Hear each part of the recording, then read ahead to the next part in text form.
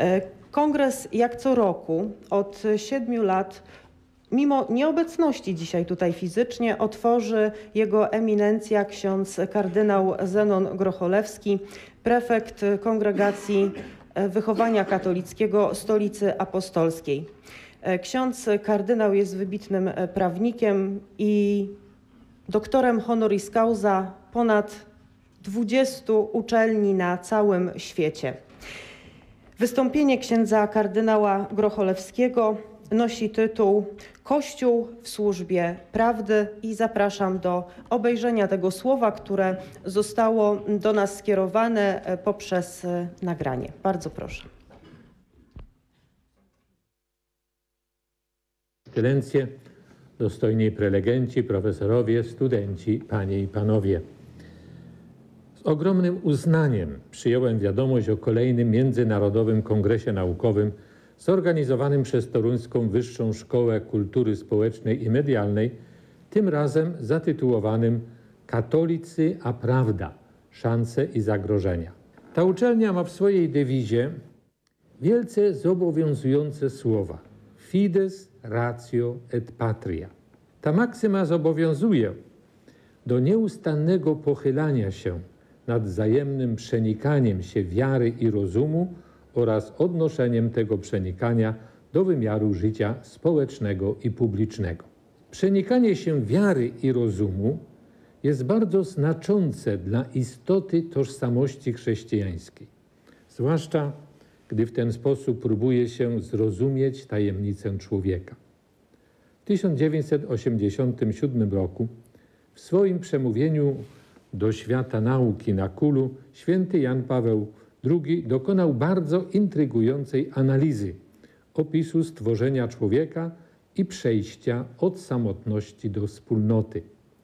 Komentując ten fakt, że dla pierwszego człowieka nie znalazła się odpowiednia pomoc wśród zwierząt, stąd poniekąd mu najbliższych, które jednak dla człowieka podmiotu były ewidentnym przedmiotem, mówił Jan Paweł II. Cytuję: Właśnie poprzez refleksję nad własnym poznaniem człowiek objawia się samemu sobie jako jedyne jestestwo pośród świata, które widzi się od wewnątrz, związane z poznaną prawdą, związane, a więc także zobowiązane do jej uznania, w razie potrzeby także aktami wolnego wyboru, aktami świadectwa na rzecz prawdy. Jest to uzdolnienie do przekroczenia siebie w prawdzie.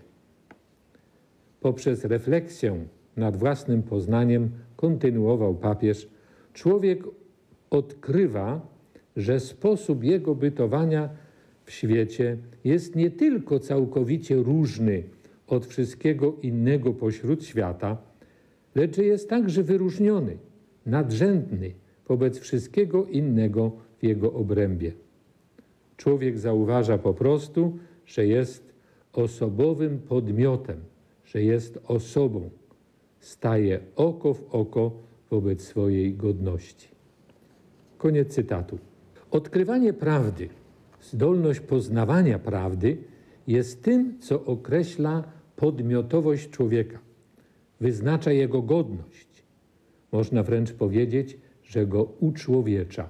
Chrześcijaństwo w sposób niezwykle dobitny potwierdza i wzbogaca ową intuicję pierwotną zawartą w tradycji starotestamentowej. Zresztą całe Pismo Święte jest proklamacją wartości prawdy, ponieważ Bóg jest samą prawdą.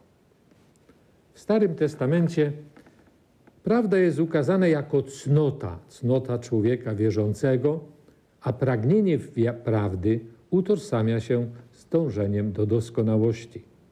Nie jest ona pojęciem tylko filozoficznym, lecz religijnym, a swoją postawę ma w przymierzu z Bogiem.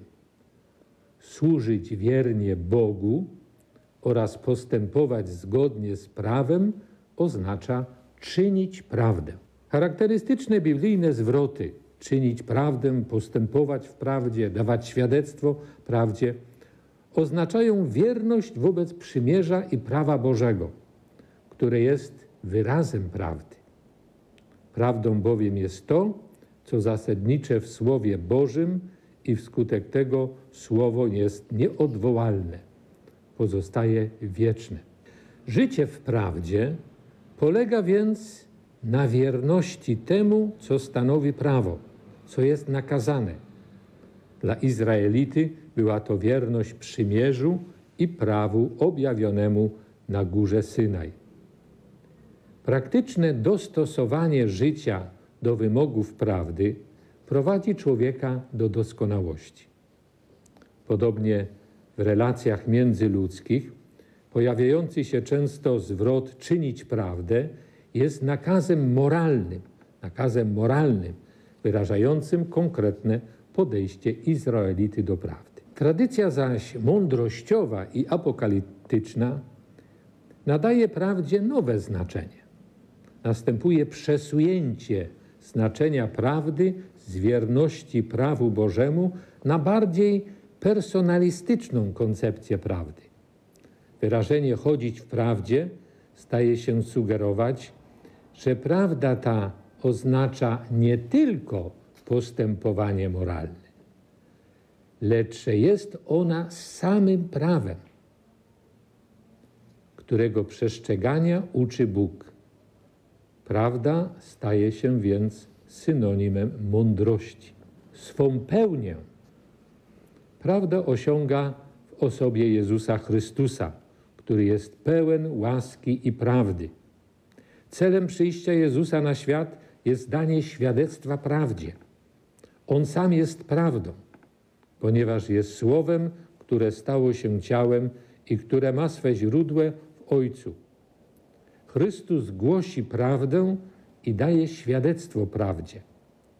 Jako prawda i nauczyciel prawdy, Chrystus jest dla człowieka drogą, która wiedzie go nieomylnie do Boga. W ten sposób starotestamentalny związek między prawem i prawdą zostaje zastąpiony przez związek między prawdą i Ewangelią Jezusa. Chrystus jest nie tylko przekazicielem prawdy, gdyż prawda jest w Chrystusie.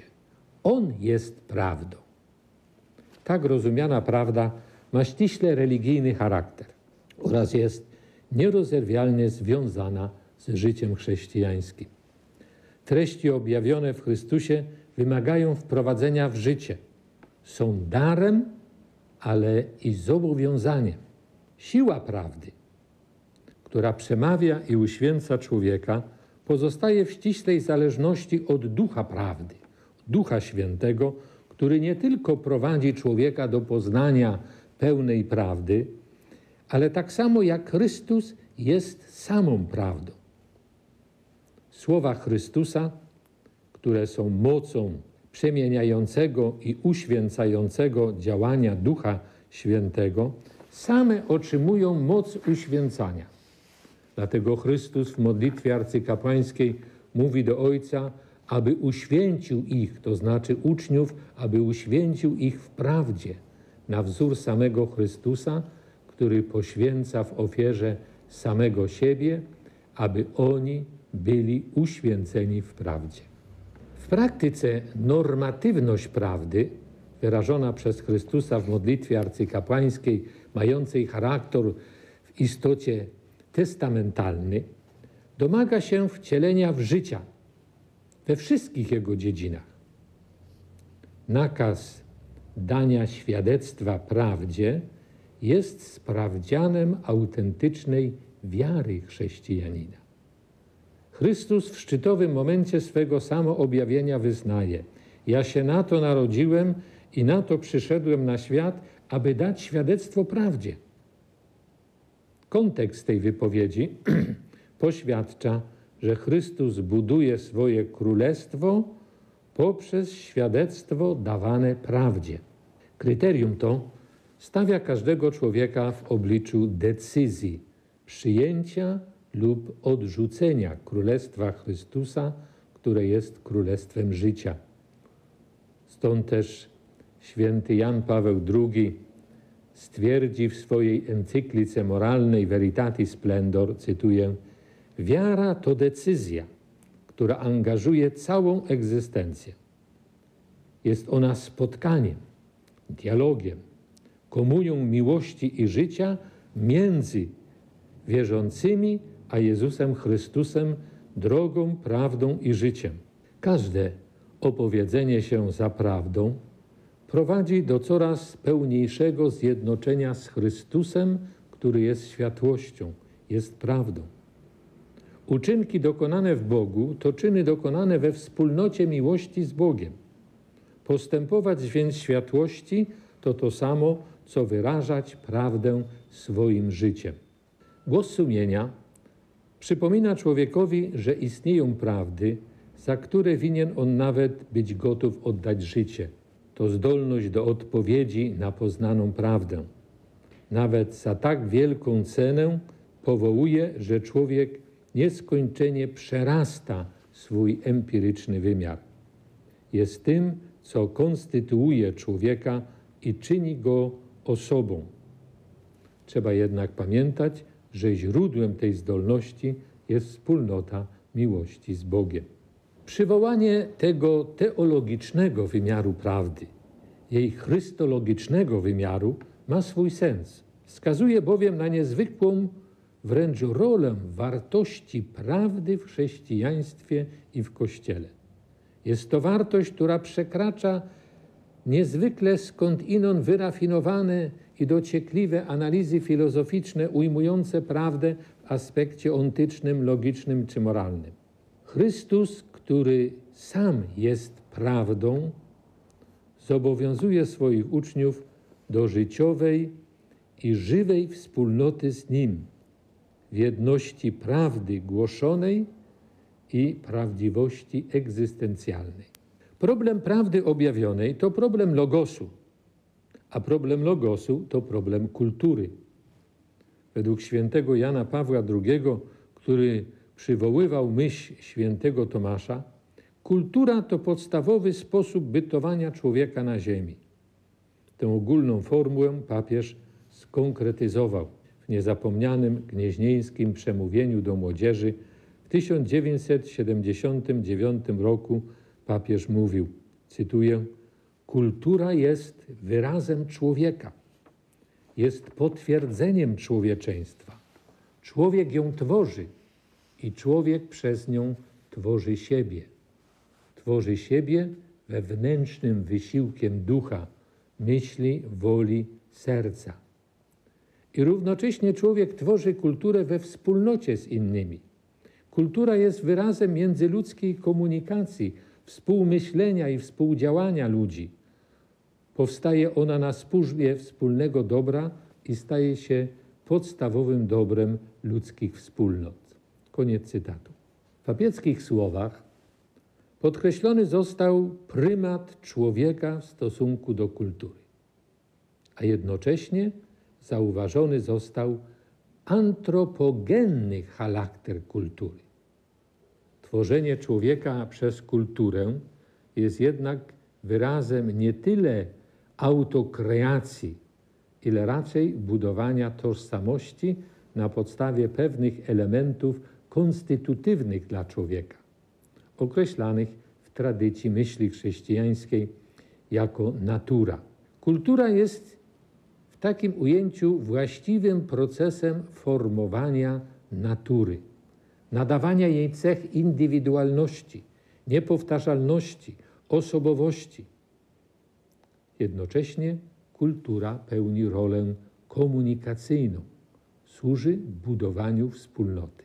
Z tego faktu wyrasta rola i znaczenie prawdy w życiu społecznym i publicznym. Prawda służy bowiem z jednej strony określeniu i zabezpieczeniu tożsamości człowieka, z drugiej zaś strony procesowi komunikacji, porozumienia i budowania wspólnoty. Obydwa te wymiary prawdy są dzisiaj deprawowane w kulturze, która relatywizuje prawdę, traktując ją jako jeden z wielu towarów w hipermarkecie idei, ten sposób kultura postmodernistyczna, jak zwykliśmy ją określać, odrzuca pierwotne doświadczenie pierwszego człowieka, który rozpoznał prawdę o swojej podmiotowości i związał się tą prawdą niejako od wewnątrz. Tymczasem współcześnie obserwujemy ogromne kłopoty nauk humanistycznych samym zdefiniowaniem człowieka jako osoby jednoznacznym podkreśleniem jego podmiotowości. Oznacza to w konsekwencji kłopot z uznaniem obiektywnej godności osoby ludzkiej. Ta godność staje się wyrazem nie faktu bycia człowiekiem, ale uznania jej. Jest przyznawana niektórym, a odmawiana innym. Widać to doskonale w wielu obszarach współczesnych sporów bioetycznych. Na przykład odmawia się statusu człowieczeństwa zarodkom poddanym aborcji, a jednocześnie domaga się subwencji państwowych dla zarodków poczętych drogą in vitro. W ten sposób czytelna staje się kolejna konsekwencja odrzucenia i relatywizowania prawdy o człowieku. Relatywizacja i subiektywizacja osoby, godności osoby ludzkiej sprawia, że prawo, prawo, w tym także współcześnie formułowane prawa człowieka, ma charakter uznaniowy. Na tyle istnieje, na ile jest uznane. Często zdarza się, że prawa te nie służą więc obiektywnym wartościom i ich zabezpieczeniu, ale są wyrazem emocjonalnej woli stanowiących, wyrazem ich arbitralności. Demokracja, która winna być nie tylko respektowaniem woli większości, ale także i przede wszystkim tworzeniem państwa prawa, w tej perspektywie zatraca swój charakter.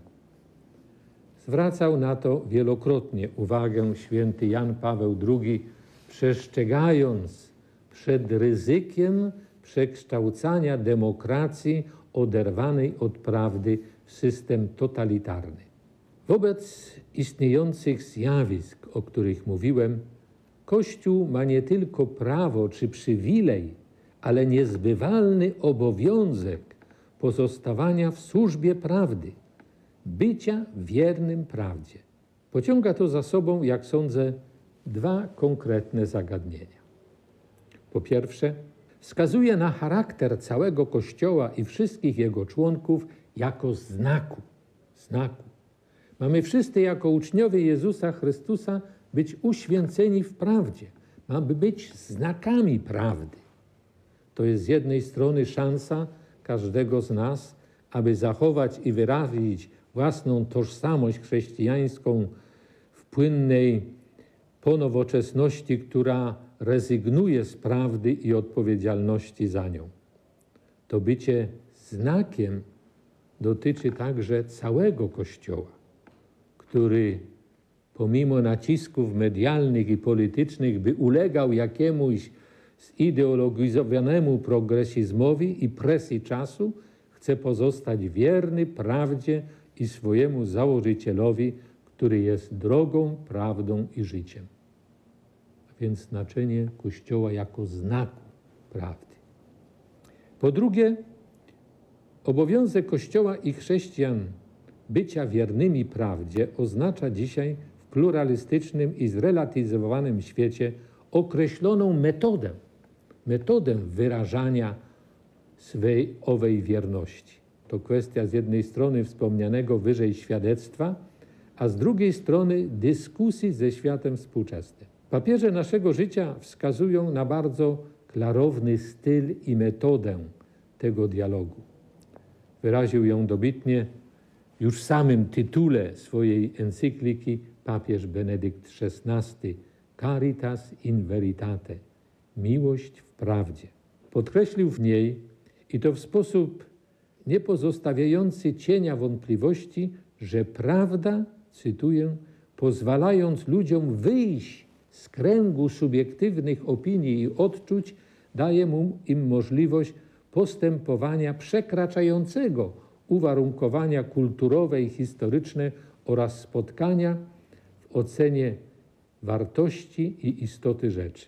Dlatego też obrona prawdy, propagowanie jej z pokorą i przekonaniem oraz świadczenie o niej w życiu stanowią wymagające i nie do zastąpienia formy miłości.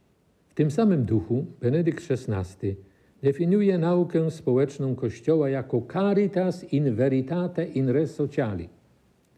Jest ona głoszeniem prawdy miłości Chrystusa w społeczeństwie.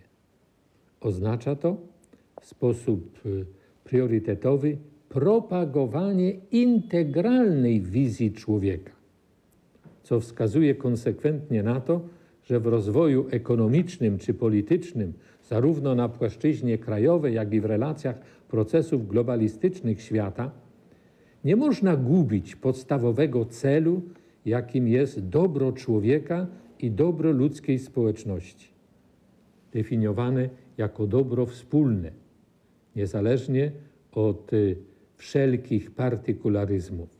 Skoro zaś pełnia życia człowieka związana jest z odpowiedzią na Boże powołanie, to motorem rozwoju ludzkiego winien być, jak stwierdza tenże papież, humanizm transcendentalny.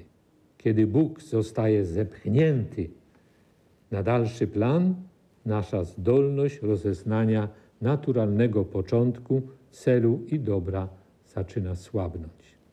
Jeśli zatem ten wymiar zostaje pominięty, to działalność społeczna zostaje uzależniona od prywatnych interesów i logiki władzy, prowadząc do dzielenia społeczeństwa, a tym samym społeczeństwa zmierzającego do globalizacji. Wypowiedzi doktrynalne papieży wskazują na wielką wartość i moc prawdy, a zarazem na misję i sposób realizacji tej misji przez Kościół. Jest nią proklamowanie prawdy, czynienie prawdy i świadczenie o prawdzie niezmiennie i zawsze z miłością. Prawda wyznawana nie niesie ze sobą nigdy żadnego zagrożenia. Zagrożeniem może być jedynie narzucanie tej prawdy w sposób bezwzględny, naruszający wolność drugiego człowieka w sposób fanatyczny. Kościół jest świadom swoich win w tym zakresie w przeszłości. Tym bardziej zatem współcześnie głosi i czyni prawdę w miłości. Miłość nie może jednak w żadnym wypadku oznaczać relatywizowania tego, co jest dobrem, prawdą, godnością osoby ludzkiej. Te zasady potwierdził także synod biskupu poświęcony rodzinie, który wbrew spekulacjom czy presjom medialnym i kulturowym nie naruszył prawdy o godności i świętości małżeństwa. Życzę wszystkim uczestnikom obrad, abyśmy dzięki temu kongresowi raz jeszcze odkryli wyzwalającą moc prawdy. Ona wyzwala od stereotypów, autorytarnie narzuconych matryc, determinizmów, ale wyzwala też od lęku i uzdalnia do odwagi świadectwa. I tej odwagi życzymy sobie nawzajem. Dziękuję bardzo.